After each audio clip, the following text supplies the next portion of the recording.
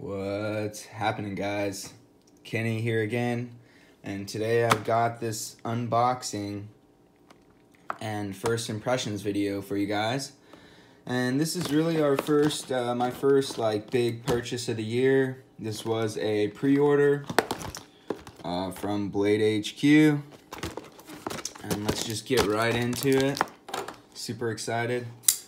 I just had this video come out yesterday for the Fortis 2.0. Those are on sale right now at Blade HQ and Knife Center if you guys don't know about that.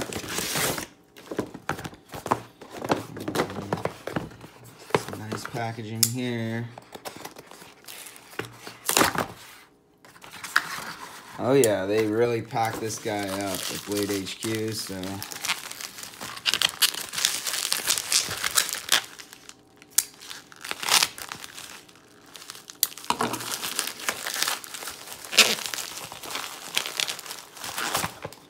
All right, got a Benchmade box, and that's right, it's the Super Freek. Um, those of you guys that are, you know, in touch with what's going on right now in the knife world, you'll know about the Super Freek.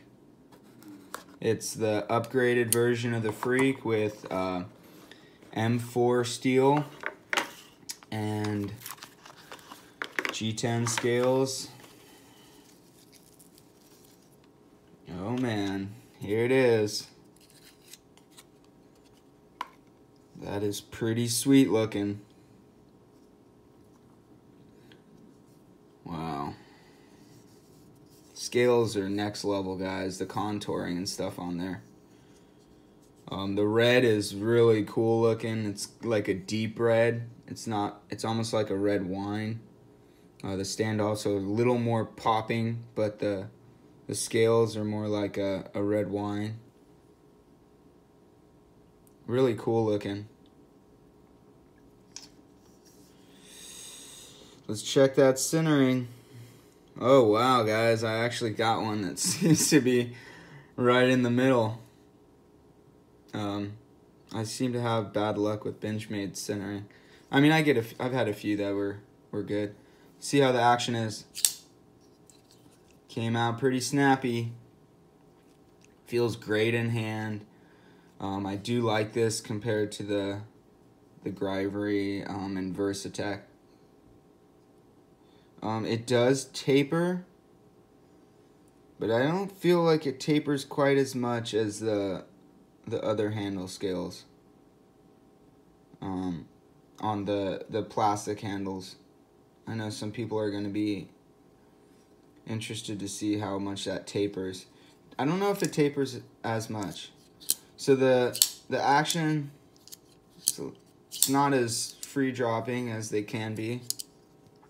Um, I'm not super. They don't all have to be free droppers right at the beginning. Got a little lock stick, a little grittiness in the in the AXIS lock, which is normal.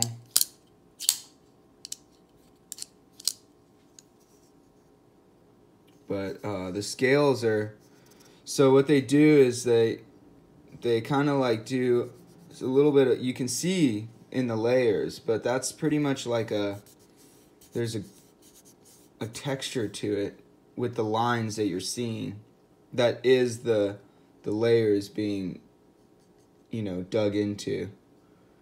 And then on the edges here they just kind of have a, a contour here and a contour here and it does feel really good in hand. This does really just fall away in the hand, and it's it's very comfortable. Very comfortable, nicely, uh, you know, knocked down on the edges, and just just really well done. Very comfortable in the hand. It does have the uh, the split arrow clip or penis clip, whatever you guys want to call it. Um, it is the parkerized version, not the painted version, which I appreciate. Feels like it's going to be go good going in and out of the pocket. There is a little bit of texture from this, but it's pretty smooth all around. It's got texture, but it's smoothed over. So I right now I have uh, Steve from Super Steel Steve's Freek. I have his Freek right now with the normal handle scales and uh, this feels maybe about the same weight, maybe a little bit heavier. Probably should have brought that guy into this. I might just do that, bring him in and just do a little comparison right away. Let's go ahead and do that. I am going to pause this. I don't like to break this up, but let's go ahead and do this. All right, so I got the calipers. I got Steve's Freek, the infamous Freek, and then I got the I got the scale. So first off, um, uh, just with a quick look, it does look like it's hard to show this in camera it does look like this tapers to the back for those of you guys that don't know that. Those of you guys that have this will know that the handle tapers to the back. This one does not so much. It's going to be hard to do this with the so 5 5 0.556 just over half inch 0.626 so it does taper Definitely tapers. Definitely tapers to the back. Let's see, this one, okay, so 0.54. So I guess it, just a little bit more, not not that much, 0.56. So it tapers slightly more to the back of the knife. Let's go right after, point, so 0.458. 0.54. So yeah, so this definitely tapers more to the to the butt, but I mean it's noticeable.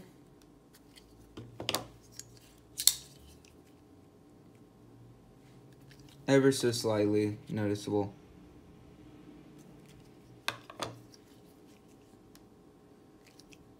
For sure, but so subtle, guys. So subtle. I really am stoked about this. Oh, what do we have here? First production. This is my first first production Benchmade. Number 675 of 1200. That's kind of exciting. Oh, let's look at the grind, guys. This is my first M4 Benchmade. I'm really excited about that. Looks pretty nice. It's pretty even, guys, and pretty, uh, it's a little wider on this side than this side. A little broader, but not horrible. Um, yeah, so really excited to get to use this guy. Um, let's see how sharp he is. It feels feels pretty pretty pretty sharp. Definitely sharp. See it putting lines there. So it's digging in a little bit. Um, let's see if I got some paper. God, I was unprepared today, guys. Sorry for being unprepared.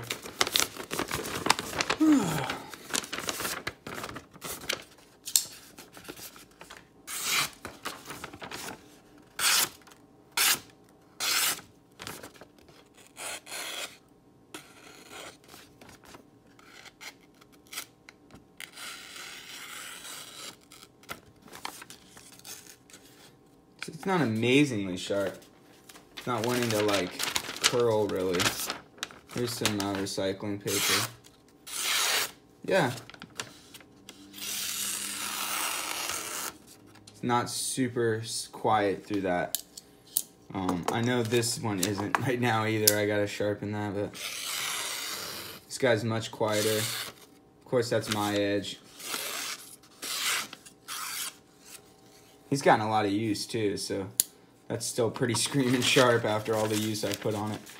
So yeah, um, sharp, not amazingly sharp. Definitely gonna want to sharpen him up soon. not gonna get too much use on that on that factory edge. Not super impressed by it, but it is sharp, and I'm not super, you know, upset with that. But this is my first M4, like I said, from Benchmade. Excited to try that. And I excited to use this knife. I do love uh, this Freek. I, I, I really liked it after getting to use it from Steve. Thanks a lot, Steve. And um, and I'm excited to try this one now. I was really excited to pick up the Super Freek um, after getting to handle Steve's. Although I did pick this up before I got Steve's. So 3.72 on the the regular version.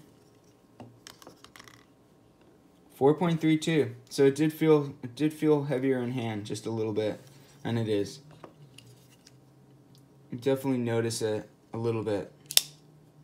Um, although you know 4.32, you know I'm not super upset about that. It is a large knife. This is a get some work done kind of knife, anyways.